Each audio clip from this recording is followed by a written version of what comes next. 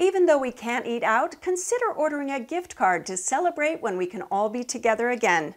We do know that the only way through this is by caring for one another. In the meantime, imagine happy future outings with our next episode of Check Please Bay Area, recorded earlier this year. Cheers.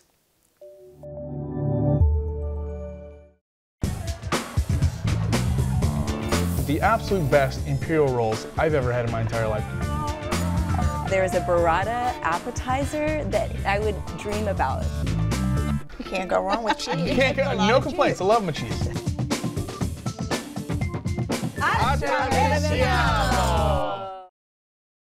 Check Please Bay Area is made possible by the members of KQED and by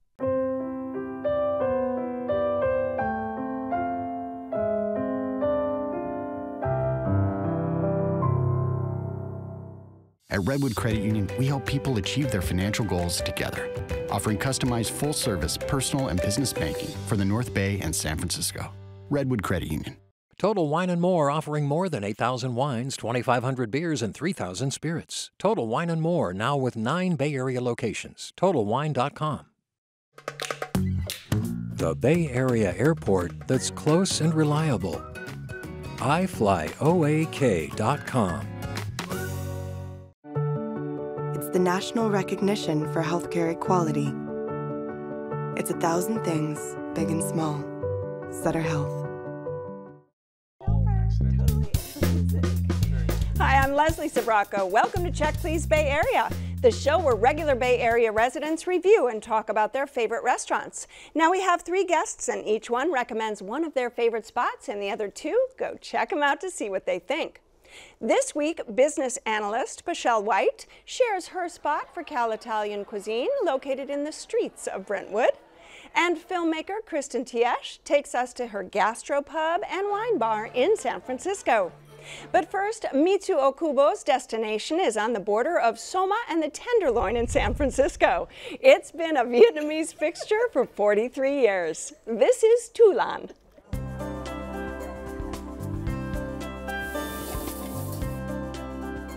Good right here. So how Julia Child came about to Tú Lan was she was meeting with the SF Chronicle editor and he was like, hey, let's grab lunch at my favorite spot. It's really right around the corner. It's called Tú Lan. So she came here and she just loved it. I think what makes Tú Lan stand out the most is definitely the family environment. My mom works here six days out of seven days a week. Even the day that she supposed to be up, she still want to come here to meet people. Also, the food is traditional and the recipes have not changed since the 1970s. Um, our portions are also very big and reasonable. My mom goes to pick the ingredients for the food on a daily basis, so everything's super fresh, everything's super organic. And also, we've been here for so long, so it really makes us really stand out because we've really been in the same spot and has not changed anything.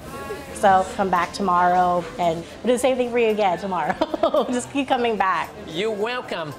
Most important is keep people happy.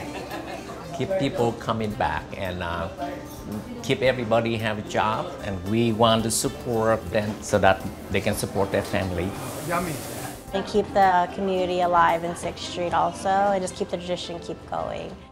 Mitsu, Tú Lan is really, it's been around for a long time, which is a rarity in uh, San Francisco, absolutely, isn't it? yes. How long have you been going? Pretty much since I've lived here. I've lived here for a little over 10 years, uh-huh. and I think maybe about my third month of moving into San Francisco. I was living in the Tenderloin, Okay. and someone just said like, "Oh, you should go check this place out." I've been going forever, and I just kind of popped in, and I fell in love with it almost immediately, and have been going there ever since.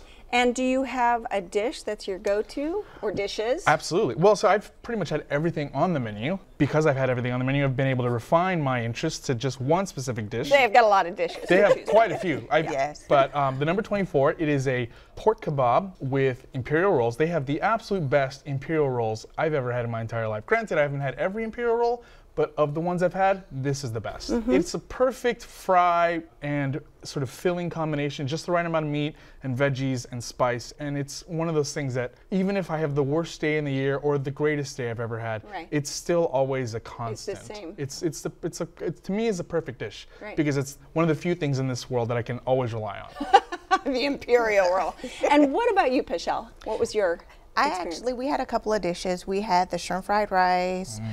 The shrimp fried rice was really good. Mm-hmm. It actually was flavorful. It was more flavorful than I expected it to be. And then it had a little bit of the veggies. Mm-hmm. Um, so I was able to mix some of the other dishes over the fried rice instead of just the steamed rice. And then what was another dish you had? the lemongrass chicken.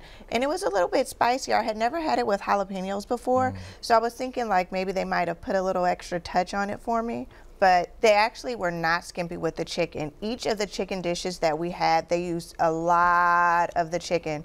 What about your experience, Kristin? So, so I'm a vegetarian, and I'm not sure that Tú Lan is the spot for vegetarians, unfortunately.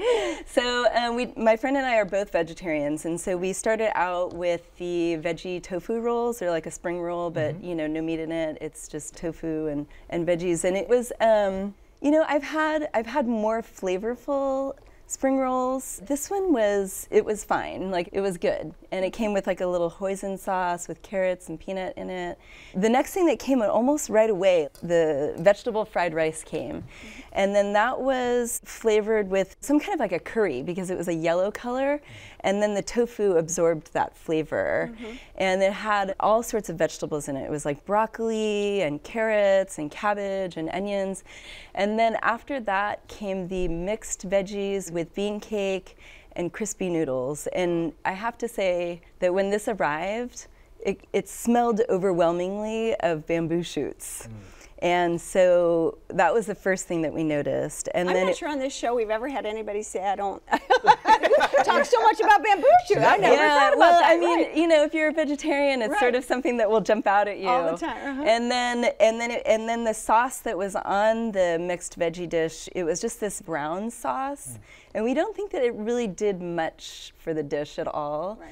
But the broccoli was fresh and crunchy, and so we ate the broccoli and like some of the other vegetables, but we kind of didn't finish that dish. We liked the fried rice the best out of all the dishes that we The fried got. rice was fried amazing. is- yeah, fried rice. Tell us some more dishes that you get when you go. Well, outside of the number 24, um, the pho is some of my favorite in the city.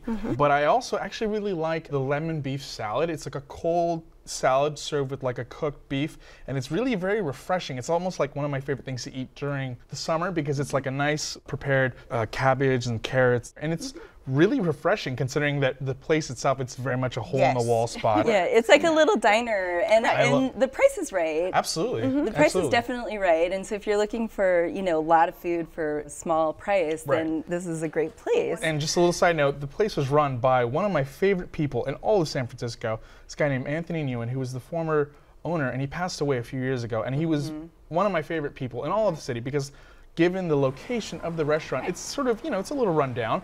But this person, who was like a wonderful guy, was almost like he had this wonderful sort of sense about him. He was always friendly and kind, and there were a lot of people in the area who, you know, who have fallen on harder times, and he always was able to recognize who, you know, needed a little help, and he would sometimes give out food to those who just mm-hmm. clearly did. very But he was always just the most generous, just absolutely beautiful person. Right. And Tú Lan is one of those places that has managed to stand the test of time.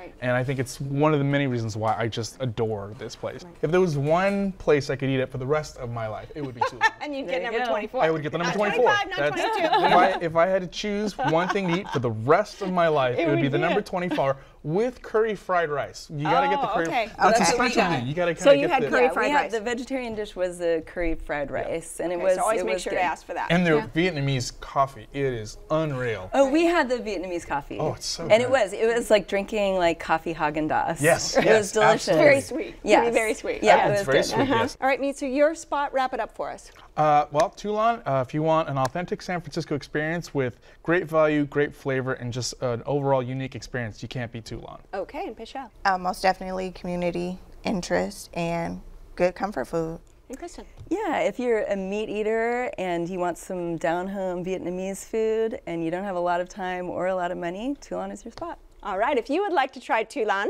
it's located on 6th Street at Market in San Francisco. It's open for lunch and dinner every day except Sunday, and the average dinner tab per person without drinks is around $20.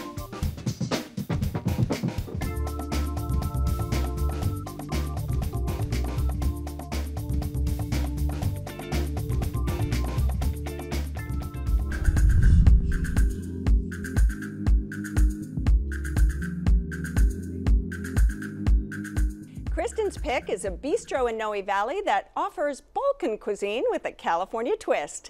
If you're craving Croatian goulash, Bosnian cevapi, even a vegan burger, all paired with bibic and blaufränkisch, they've got you covered. This is Bistro SF Grill.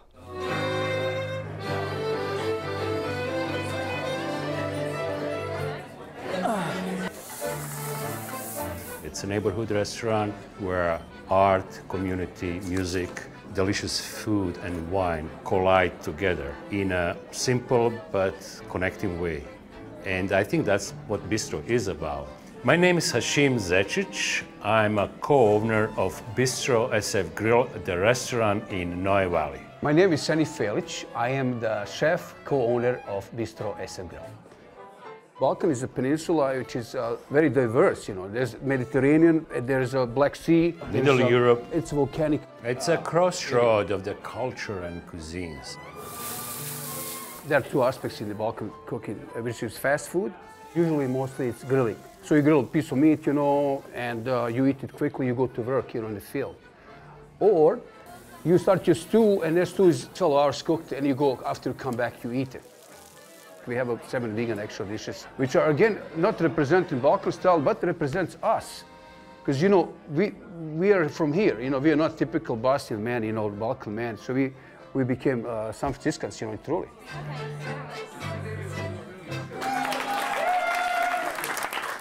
Kristin, I, I can't recall that we've talked about a lot of Balkan restaurants on this show, so it's interesting. Well, I'm glad that- to bring yeah, you a Balkan right, restaurant. A Balkan Yes, restaurant, right? yes. And tell us a little bit about how you found this place and Oh, what draws you to it. Okay, well, I met I met one of the owners, Seni, at uh, he had a booth at the farmers market in San Francisco, and we just became friends. And then one day, he, you know, I went to the farmers market, and he said, "Kristin, I'm opening up a brick and mortar restaurant. You must come." And so, um, so I did, and then I kind of became a regular. Mm-hmm. So the two owners are Bosnian, mm-hmm. and they actually knew each other before they both moved separately to San Francisco. Mm-hmm. And then they decided to open this restaurant, and you know, it's just become this really great neighborhood spot for people to dine and listen to music and drink. Because they have know, music every night? they have music every night. Well, and how long have you been going? Um, about 10 years. Right. And they have this great list of Balkan wines. It's so Where fun to see because they do. They have Slovenian Blaufränkisch and, and they even have Turkish Sauvignon Blanc. Right, and so I never knew that I was a fan of plavac until they started Plavac serving me Mali, glass that's of right. plavac, and then it became my, my go-to. It goes great with food. Before I get to your food, I want to hear since we already touched on the wine. Yeah, I don't remember the type of. It was definitely. I think it was. It was a Czech. Blaufränkisch, Bibic. Um, I don't remember. I, don't- I think it might have been a Blaufränkisch. I'm sorry. I'm kind of a nice red wine. yes, it was a red wine. It was a nice red wine. Um, the thing I Just found put most ish at the end and we're okay. that's the one. Uh, the thing I found most striking, the food is good. However, I actually found the ambience more captivating than anything else. Not that the food, the food is good, but I felt that the people were so welcoming and warm. I felt like I didn't walk into a restaurant. I walked into like someone's house. Mm-hmm. When we were there, I was there with a small group of friends, and just the musical company that night was really fantastic. It was so, it was odd but beautiful and captivating all at the same time. It was just like a wonderful compliment to my meal at that particular moment was a Bosnian plate. It was a sausage with hummus and pickled cabbage, and I had fries as well. Paschelle, what was your experience? I actually ended up dining with a few other ladies. We were all there on a Friday night and we had a ball. The music, we, it was a live musician. I believe she was a violinist that night. And I started with a glass of cab mm-hmm. with a salad. That for the appetizer, I had the shrimp kebab, which was really good. It was more flavorful than I thought it would be. And tell me a little bit about the salad. It was like a mixed Greek salad almost. It had a little goat cheese and olives and cucumbers. It had some of everything in more of a mixed traditional salad. Right. So. Now, what do you get when you go? You're the expert here. You've been there many times. Yes, uh, there's a vegan plate, and Seni, the owner, he makes these amazing crispy falafels that are, you know, crusted with sesame, but he makes them out of fava beans, mm-hmm. and so those are really good. And it comes with a, you know, generous dollop of hummus right in the mm-hmm. middle, and grilled pita, and then a cucumber salad. And then some dolmas on the side. So you have this gigantic plate of like appetizers and main course, you know, all in one. And it's not that expensive. And so that's like kind of my go-to. Mm-hmm. But I also love they have a uh, curry lentil burger that is just like a very flavorful burger that's made with lentils and curry, and then it comes with a cucumber yogurt sauce, and then I usually end up getting like a side of fries. Mm-hmm. What else did you have to eat? So uh, okay, so I went with a few other friends and I tried the swordfish, which is pretty good, mm-hmm. and the swordfish I think that particular night, it was a little underseasoned and maybe a little, it was a little, little too tough. But my Bosnian plate, which that's what it was called, it's fantastic. It was, I would totally and eat tell that me again. everything again that was on there? So it was kebab sausages with some hummus, which was delicious, and the grilled pita bread, which was like, it felt like was a nice sort of like a sampling of what that place has to offer. Right. Mm-hmm. Which great food and honestly, this the ambiance. The ambiance. Well, what did it. you? So you started with the salad and the shrimp kebabs, and where did you um, I ended move up with after that? salmon, and it came with grilled asparagus, also asparagus were with the shrimp kebab. I like that it had on the menu that everything was wild. So that was a, a plus wild for caught me. salmon. Yes. Mhm. And, And- did, did you have any desserts? There was this lovely baklava dessert. Mm. This is like his mother's recipe, and then he always wants to like add his own flair to it because that's Sunny. And then he makes it with lemon, so it's like this mm. oh. lemony baklava. And again, like large portion, you can split it among three people. Did you have room for any dessert? I so I actually tried to order. I initially tried to order the baklava, but they had sold out. Oh, so I had to opt for the chocolate cake, which is good, but I wanted baklava. yeah, let's go back. Yeah, I'm, I'm totally down. Like, he, I even I said, like, oh, can I get the box? I was like, oh, I'm so sorry. He was super apologetic. I was like, uh. I should have got here sooner. Should have got here Yeah, sooner. they were completely You're out back. of dessert the night that I went, but I did meet a few other ladies that we're going to meet again for dinner Absolutely. there. That's so great. Yes, and we all connected and exchanged numbers. Oh, that's great. Well, this is your spot. Wrap it up for us. Yeah, if you're looking for a neighborhood spot with live music and friendly owners and friendly people with some Balkan food, Balkan wine, Bistro FSF Grill is your spot. Okay, and Paschelle. Um, a nice Friday night hangout spot, live music, eating at home almost. Okay, and me too. If you're looking for an interesting place for friends and family, can't think of a better place than this spot. All right, if you would like to try Bistro SF Grill, it's located on Castro at 24th in San Francisco. It's open for dinner every day except Sunday and Tuesday, and the average tab per person without drinks is around $30. Post your favorite food shots on Instagram at hashtag Bay Area Bites and have a chance to see your food pics on the show.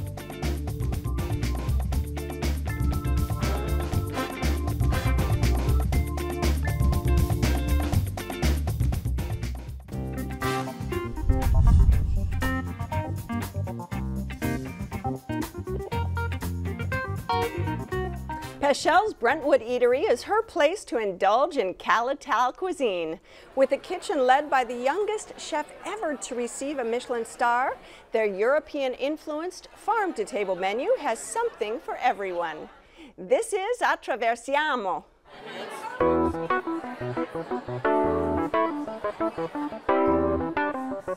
I'm Anthony Roost. And I'm Alyssa Roost, and we're the owners here at Attraversiamo on the streets of Brentwood. We have a strong connection to Brentwood because I'm born and raised here. Been here my whole life, moved away, that's when I met Anthony. Before we started this, I was an electrical contractor and seen Alyssa and gave her a business card. and uh, she called, surprisingly, and kind of went from there. After Alyssa and I got married in Discovery Bay, we opened our first wine bar. And uh, there wasn't anything really like that out in this area. So we started with that, worked our way into the restaurant. We knew we wanted to do locally sourced, uh, especially with all the farms out here. There's an abundance of agriculture out here. Uh, just to use that, it's a no-brainer.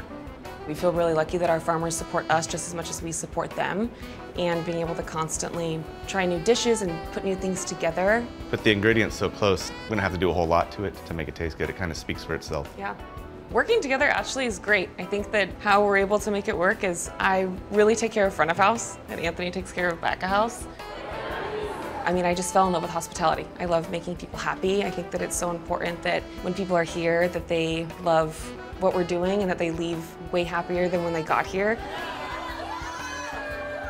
And so that sort of just became like my passion. I couldn't imagine doing it without her, so kind of a team, so it doesn't doesn't really work without one another. Yeah. All right, this is a great name for a restaurant, right? Attraversiamo. Yes. Get your hands up here. Everybody be Yes. Italian. Attraversiamo. Right? To cross over, to go across the street, right? Right. Streets of. Yeah. And I'm actually new to the area, so I happened upon this place. I was looking for somewhere to go, hang out, invite people over to meet me, and this happened to be the location. What is it about the food that you adore so much? Farm to table. Everything is fresh. Do you have a drink when you walk in the door? Because they have quite an extensive wine list and cocktail options. Yes, one of my favorites is a lemon drop, Mm-hmm. and I like the mimosa, which they use a passion fruit juice and Mm-hmm. fresh watermelon juice, so I get them both mixed together. There Yes. you go. Right, there you go. What did you have when you went Mitsu? We had two appetizers, the arancini, which was absolutely incredible. It was a big, hearty, just delicious fried, Ball of mm. rice. fantastic. Big ball of rice. I think we overdosed on the cheese. So we had that, and then we followed that up with the cheese mushroom dish with like a little skillet, which was also fantastic. But again, cheese and cheese was just You can't go wrong with cheese. you can't go, no complaints. I love my cheese. And then um, and then we followed that up with the special of the evening, which was a bacon and clam pasta. They had like mm. sort of like a special for the evening, which is two plates of the special pasta for the night, plus a really nice bottle of wine, which was fantastic. Um, and it was a little underseasoned. And the pasta was nice, but just that was sort of a bit of a disappointment. But the dessert that followed was Oh, hang tight to that because I want to get first too. Okay, No fair enough, fair desserts enough. yet. No Fair desserts enough, allowed enough. yet. All right, I want to get to Kristin and see uh, Okay, what well, she had. yes. So first of all, I want to say Attraversiamo made me cross the bay. there you go. Let's use this. you know, because it's way out there in crossover. Brentwood. It was, Out uh, of the way. that was a Crossover, trek. a few I will bridges, a say few that was a bit of a trek. Yes, but it's a little Yeah. bit of a trek. However, uh, w- my dad and I have a friend, an old family friend who lives in Brentwood, so this gave us an excuse to go visit her. So we brought her out and we went to dinner. It was very, very, very nice. We loved it.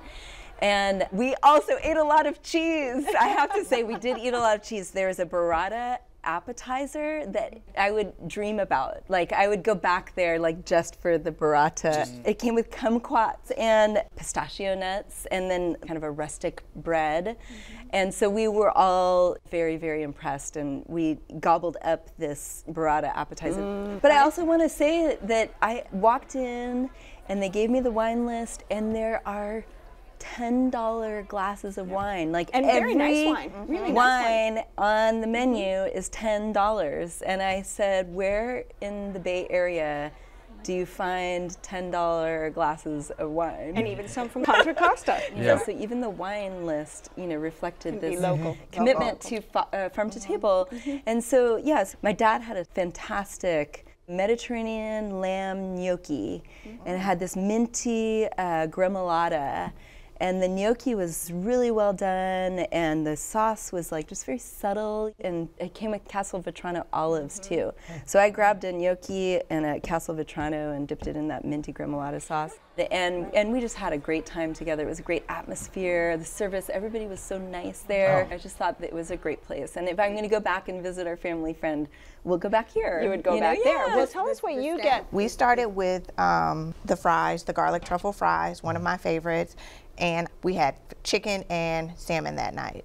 So tell me about the chicken. Um, it was good, Mm-hmm. very moist, nice and flavorful, seasoned very well to perfection. And do you ever get the pasta there? No, I've You not never had. do? I never. Really? I do not get. I'm not a You're- big pasta. you're a fish eater, I can yes, tell. most Yeah. definitely fish eater. Yeah. well, speaking of which, I want to say too that like our friend, she ordered the shrimp tagliatelle and she loved it. And it was very simple. It was just like a tagliatelle with like a buttery white wine sauce, and the shrimp looked lovely.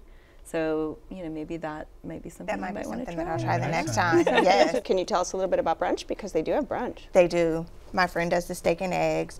Mm. I normally do the French toast, which changes by the season. So the fruit that they add to the toast, the French toast, is a seasonal French toast. This time it was bananas and nuts and blueberries. Nice. Okay, now me too. Now you can tell me about dessert. okay. Uh, yeah. So for dessert, we have these really delicious homemade donuts with chocolate filling. That, considering everything we've just eaten, it was like the perfect amount of food to just follow everything up with, and it was just absolutely beautiful. All right, Paschelle, this is your spot. Give us a quick summary. If you are willing to make the trek and cross over, please come over to Brentwood. And me too. Uh, you know, it is a bit of a trek, but you know, if you happen to find yourself in the area, it's definitely worth a visit. Okay, and Kristin. $10 wines and a burrata appetizer that you will dream about. Okay, if you would like to try Attraversiamo, it's located on Sand Creek Road in the streets of Brentwood Mall. It's open for dinner Wednesday through Sunday with Sunday brunch, and the average tab per person without drinks is around $45. I have to thank my guests on this week's show, Mitsu Okubo, who invited us to his Vietnamese spot in San Francisco, Tu Lan, Kristin Tieche, who took us to the Balkans via San Francisco at Bistro SF Grill in Noe Valley, and Paschelle White, who brought us to her favorite place for farm-to-table Cal Italian in Brentwood, Attraversiamo. Join us next time when three more guests will recommend their favorite spots right here on Check Please Bay Area. I'm Leslie Sbrocco, and I'll see you then. Cheers! You had fun, you had fun, right? Woo! We really want to hear about your experiences at any of the restaurants we've been talking about. So keep in touch with us on Facebook and follow us on Twitter. And don't forget that you can watch any of the shows on our website at kqed.org slash checkplease. It's where you'll find links to the restaurants and my notes on the wines we're drinking today. Cheers! Check Please Bay Area is made possible by the members of KQED and by Cooking is the first kind of love you know. It was starting when I was a child with my grandmother doing fresh pasta and now I transmit it to all the guests. It's something made specially for them. Oceania Cruises, proud sponsor of Check Please Bay Area. It's the national recognition for healthcare equality. It's a thousand things, big and small. Sutter Health. the Bay Area airport that's close and reliable. iFlyOAK.com. Total Wine and More offering more than 8,000 wines, 2,500 beers, and 3,000 spirits. Total Wine and More now with nine Bay Area locations. TotalWine.com. At Redwood Credit Union, we help people achieve their financial goals together, offering customized full service personal and business banking for the North Bay and San Francisco. Redwood Credit Union.